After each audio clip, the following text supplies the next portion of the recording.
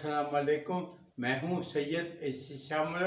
سب سے پہلے تو میں آپ سب بھائی بہنوں کا شکریہ ادا کرتا ہوں کہ آپ میرے ویوز سن دیں اور ان کو نہ صرف سن دیں بلکہ اس کو پسند بھی کرتے ہیں آج انگلینڈ اور آسٹریلیا کا جو پانچواں اور آخری ٹیسٹ میچ ہے، یہ تیسرے دن ختم ہو گیا۔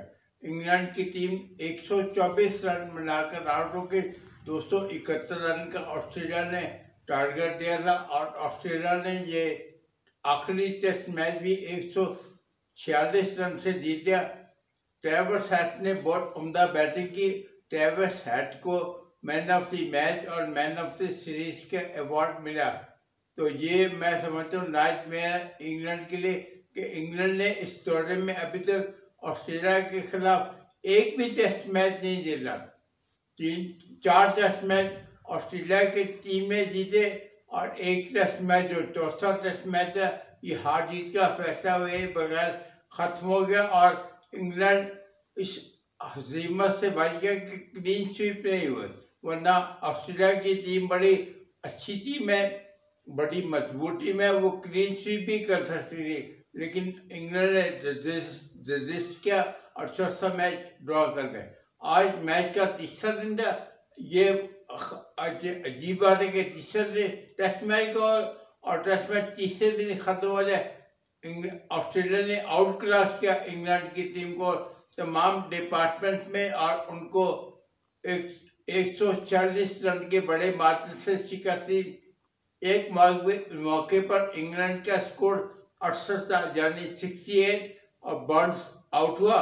اس کے بعد کرالی اس کے بعد ملان روڈ جیسے لائن نہیں لگے اور پوری کی پوری ٹیم کو لیفٹ کر گئی اور پوری ٹیم ایک سو چوبیس رن پہ آؤٹ ہو گئے اس میں کمنس نے بڑی اچھی بالنگ کی مچل اسٹارٹ نے اچھی بالنگ کی، گرین نے بھی اچھی بالنگ کی۔ سب نے آسٹریلیا کے تمام بالرز نے اچھی بالنگ کی بلند نے بھی اچھی بالنگ کی۔ تو میں سمجھتا ہوں آسٹریلیا کی ٹیم نے آؤٹ کلاس کیا، انگلینڈ کی ٹیم کو اور یہ میچ جیتا ایک اور میچ جو ساؤتھ افریقہ اور انڈیا کے درمیان ہوا تھا، تیسرا اور آخری ٹیسٹ میچ، وہ ساؤتھ افریقہ کی ٹیم نے سات وکٹوں سے جیت گیا تھا اور سیریز اپنے نام کر رہی تھی۔ اس کے بعد ہی وراٹ کوہلی کے ریزگنیشن کی خبریں آئی ہے کہ وراٹ کوہلی نے ٹیسٹ کرکٹ کے کیپٹن کی حیثیت سے ریزائن کر دیا۔ اب دیکھ رہی ہے انڈیا کا ٹیسٹ کیپٹن کون بنتا ہے؟ روہت شرما بنتا ہے یا کوئی اور بنتا ہے، یہ دیکھنا ہوگا۔